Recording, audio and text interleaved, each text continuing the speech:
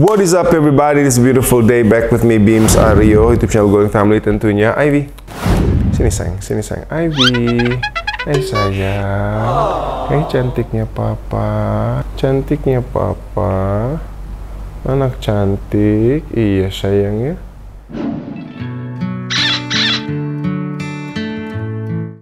Ada sedikit berita nggak enak nih? Uh, Kita kan udah kasih Ivy tempat yang nyaman buat dia. Udah kasih di dalam box gitu kan. Udah gue kasih kaos gue juga. Dan dia lahiran dengan aman tentram. Dan beda seperti dulu pas dia habis trauma. Di saat dia ngelahirin sempet tuh anak satu tuh.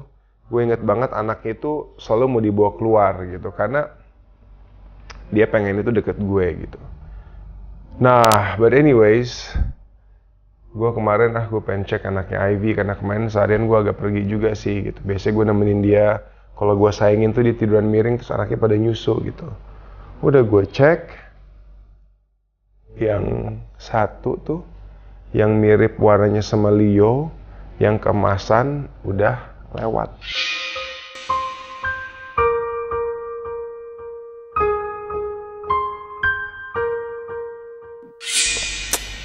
gue yang kayak aduh kenapa? Gitu. IV di dalam kamar makannya ada minumnya ada pasirnya ada gitu.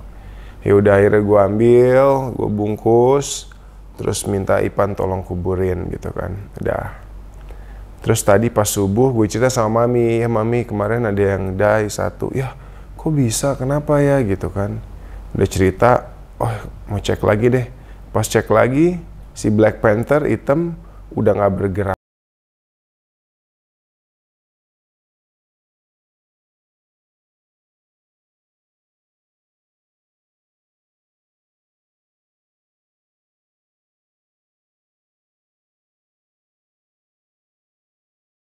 udah akhirnya aduh gue pikir kenapa gitu.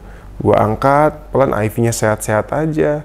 Paling dia sehari itu sekali dua kali lah pengen minta keluar kayak sekarang nih. Dia ngeong ngeong ngeong ngeong. Dia mungkin butuh refreshing dia senang ketemu gue gitu.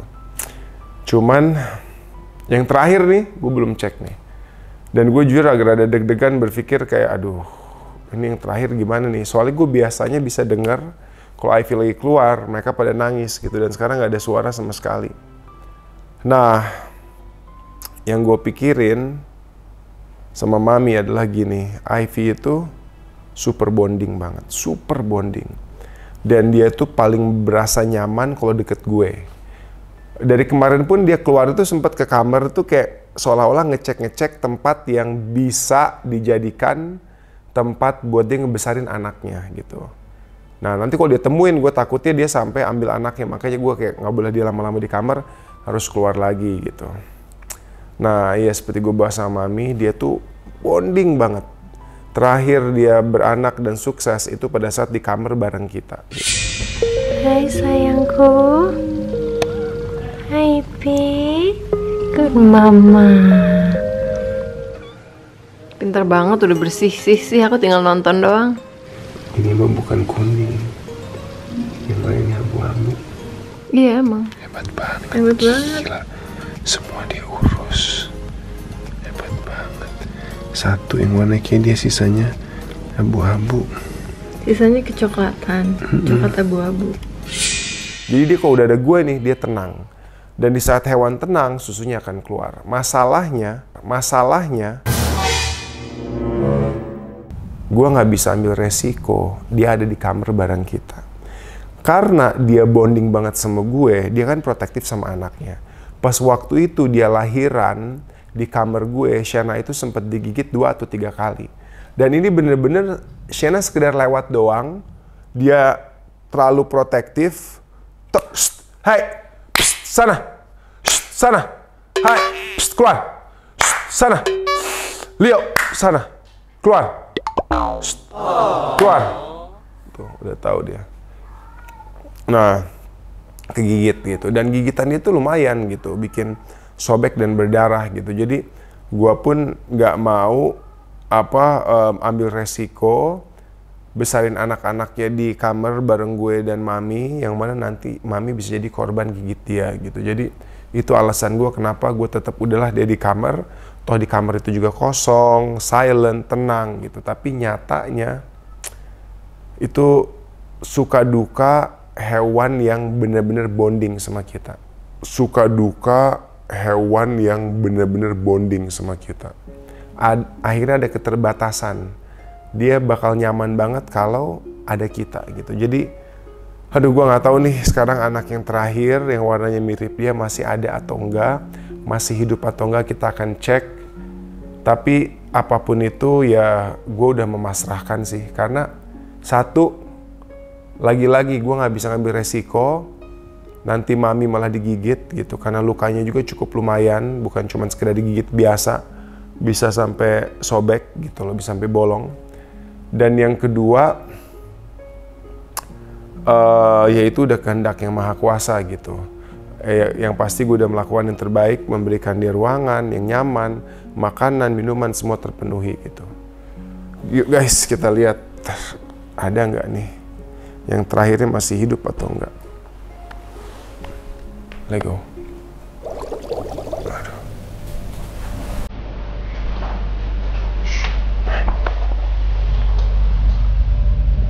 Oh masih nafas yang ini Alhamdulillah Yang ini gerak guys Yang ini gerak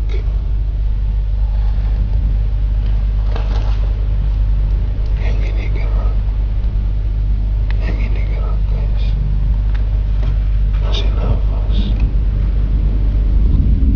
Masih nafas Bismillah yang ini survive Bismillah yang ini survive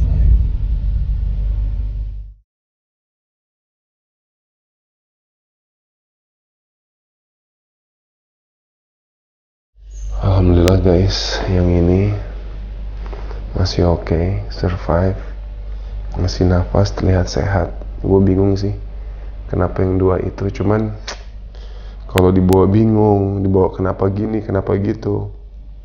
Yang ada hati itu jadi nggak enak gitu. Jadi gue mikirnya, ya udah, emang udah takdirnya, emang udah semestinya gitu. Dibanding gue, aduh kenapa ya, apa yang salah? Iya. Mana yang Black Panther itu gue berharap banget lagi lihat gedenya.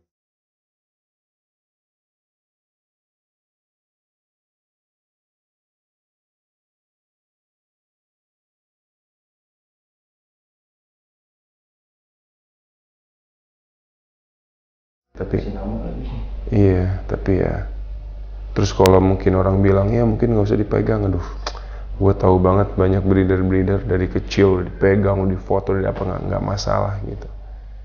Tapi emang, nah ini dia nih, hei sayang. Hei sayang.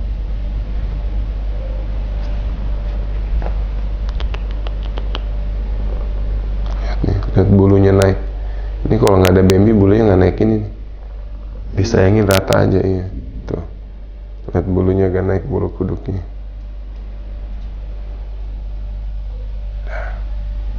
Udah suruh dia stay. Gua agak heran juga nih. Kemarin. itu kamu Hah? Eh gua mau angkat, udah nafas kok dan tenang. Biarin aja. Yuk, kita biarin. Bye Ivy, bye bye. Bye bye, awas. Yuk. Guys, intinya adalah punya hewan itu pastinya ada resiko dan pengorbanan.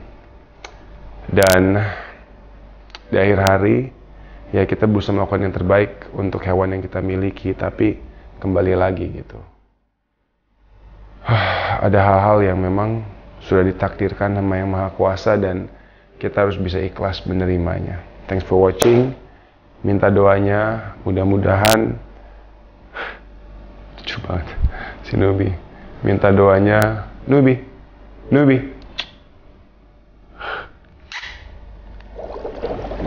Minta doanya agar anabul-anabul semua sehat dan dan mudah-mudahan teman-teman juga semua anabulnya pada sehat.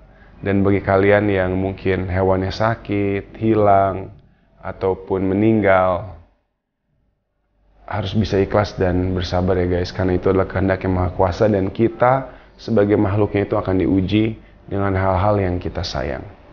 Thanks for watching guys. Don't forget to like, share, comment, and please subscribe. Bye everybody.